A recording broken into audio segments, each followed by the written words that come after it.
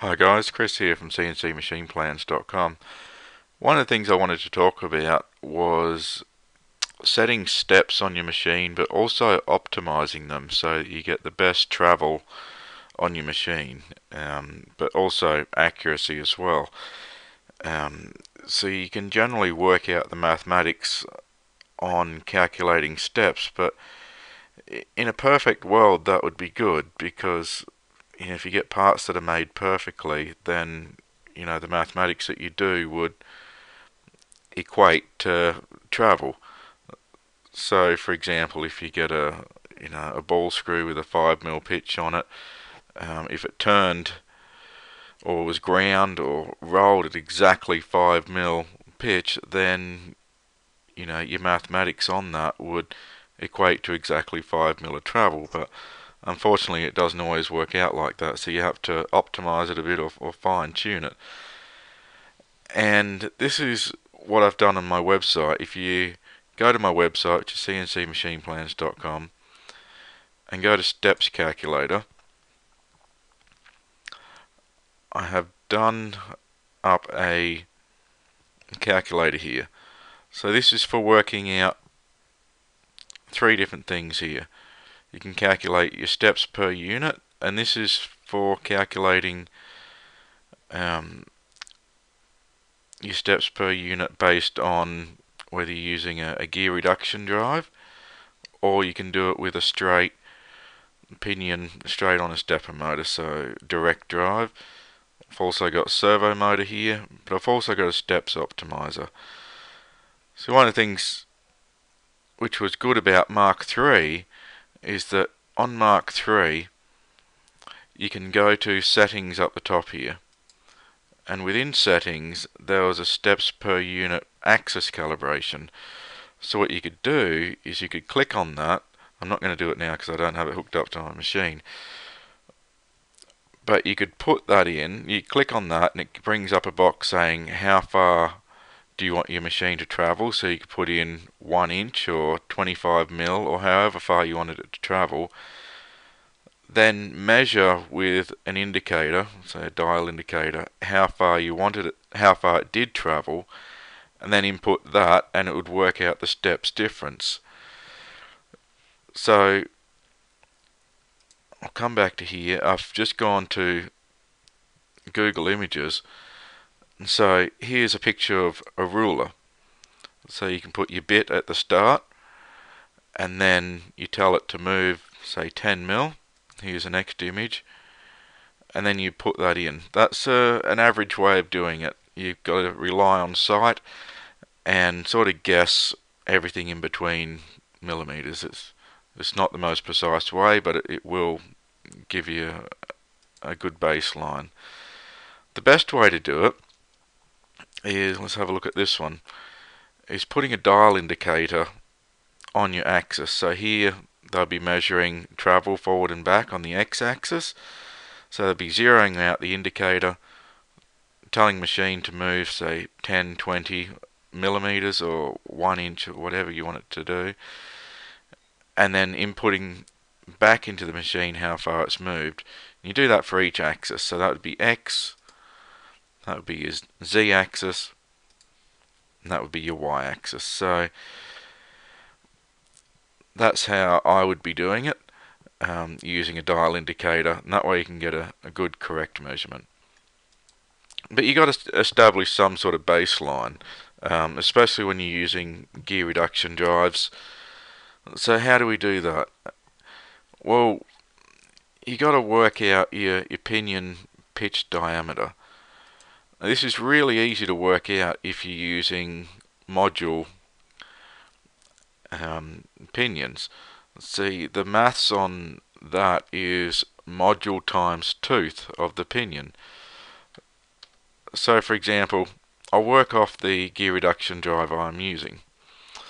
I'm using a, a 20 tooth pinion and I'm using a, and it's a module 1.5 so all you have to do is go 20 tooth times 1.5. So the pitch diameter is 30 millimeters. If you were using module 2, then it would be tooth times 2 and so on and so forth. So modules are really easy to work out the pinion pitch diameter.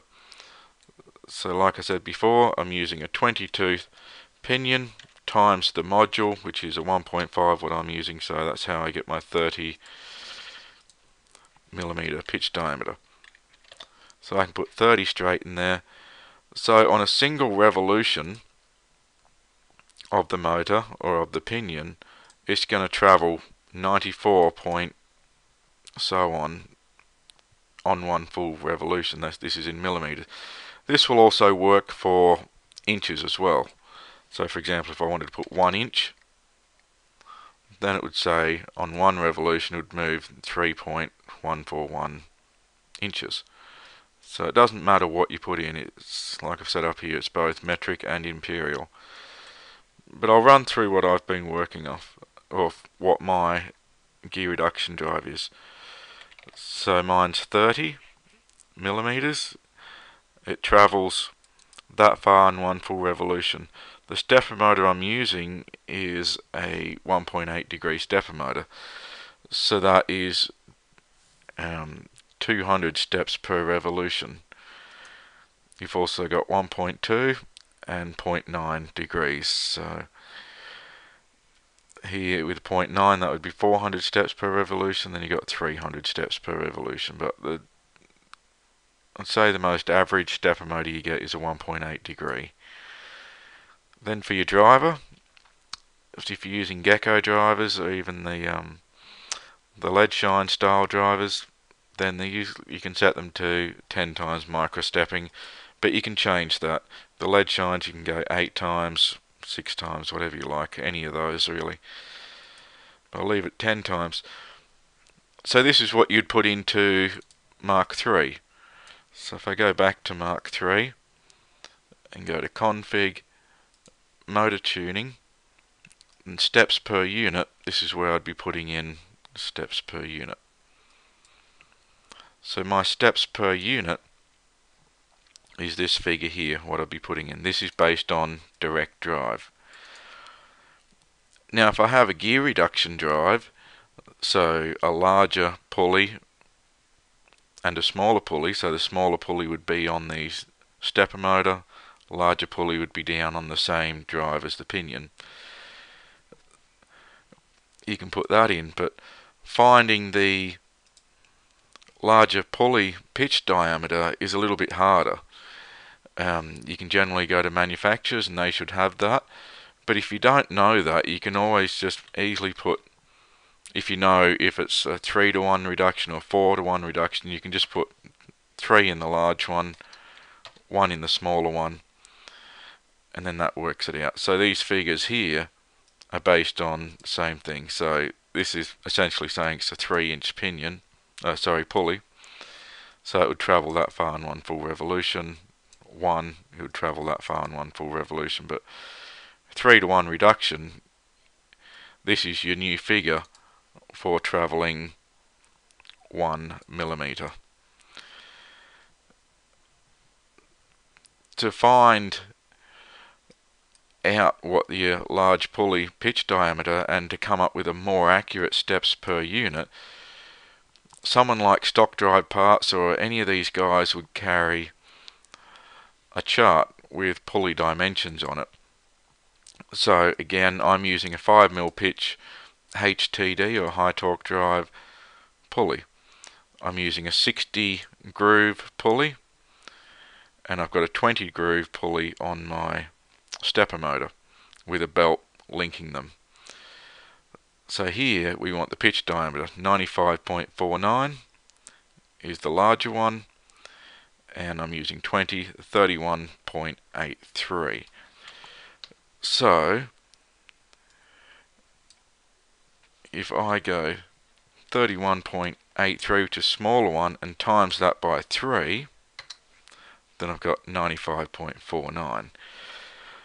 In years gone past, I have bought 3 to 1 gear reduction drives, but they have been ever so slightly different.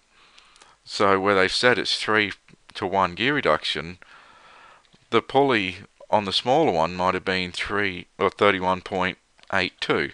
So you go that times 3 is 95.46. So it's ever so slightly off. And, you know, although it's such a, a small figure,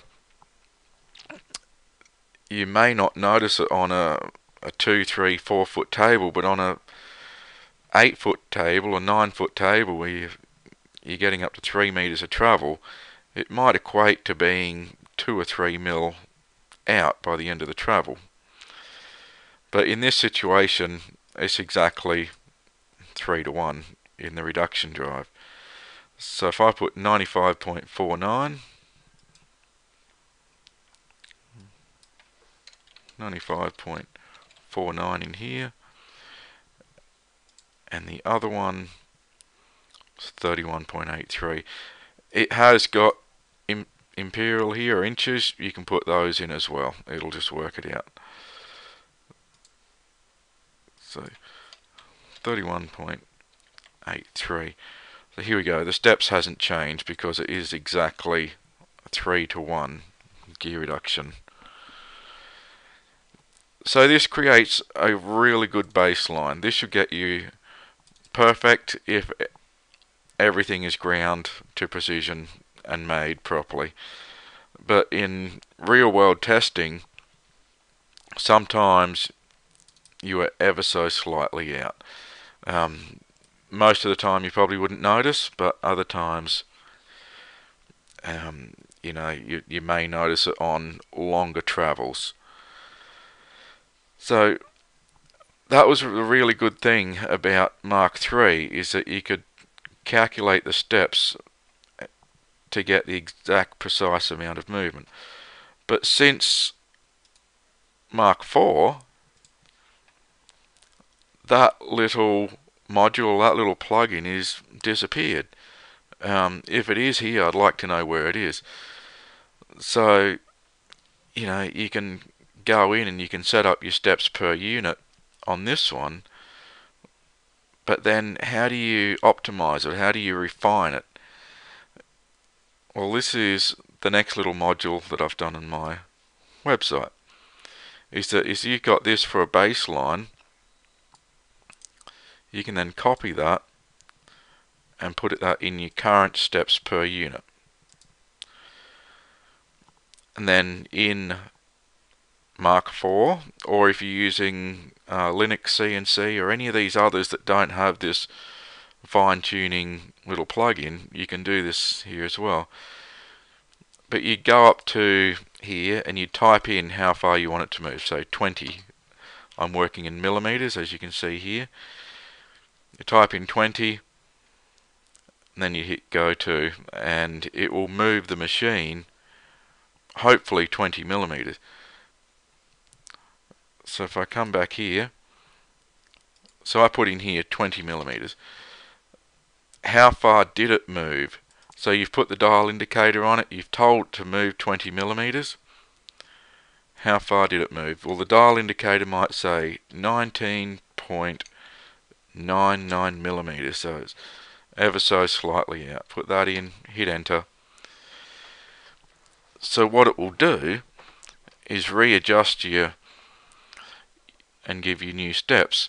So you can see that 63.6619, the new steps is 63.693, etc. So it works out exactly what the difference is. So if you put that now in your machine, you should be a lot closer. What I found with working with the original Mach III steps per unit that you had to do it two to three, maybe four times before it was absolutely precise. So what would tend to happen is that you would might get 99.9 for your first movement, so you put that in. Then your next one might be 20.01. So you put that in, hit enter, and that might be your second reading. Your third reading might be even closer at 01, another 01. So then you just put your new steps in, and then by about your third reading, you should be bang on exactly how far did it move compared to how far to move should be exactly the same. Then you put your new steps in and it's all good. So you know like I said before since Mach 4 came out you know I've been looking for that little module in there so that I could work it out precisely um, so I could get the exact travel since that's gone then that's why I've come up with this. So this is free. You're welcome to stop by the website www.cncmachineplans.com then click on steps calculator. It's very easy to use as I've just shown you and hopefully that gets your machine working even more precise and exactly where you want it to go when you type in the measurements and hopefully everything that you're working on in your CAD and your CAM is now working and cutting to what you want. Alright, thanks very much for watching. If you enjoyed this video, please subscribe and give me the thumbs up.